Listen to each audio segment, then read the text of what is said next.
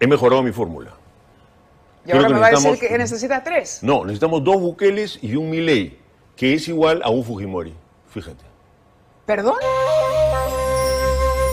¿Apoyarán o no apoyarán la moción de Hemos sido muy censura claro, lo dicho ayer el vocero de nuestro partido. No vamos a apoyar esa moción Señor mientras las evidencias que tengamos sean las que están puestas, que son solamente presunciones. El tiempo corre y Sí. es difícil hablar más, pero llama la atención que usted hace cinco minutos haya hablado de coimas exigidas por las municipalidades para cerrar comercio. Sobre ese punto, usted es radical y busca la justicia.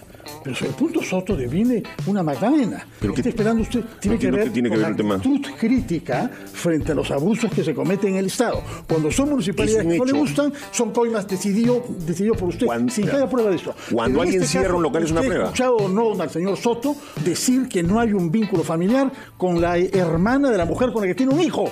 ¿Lo ha escuchado usted o yo no? escuché su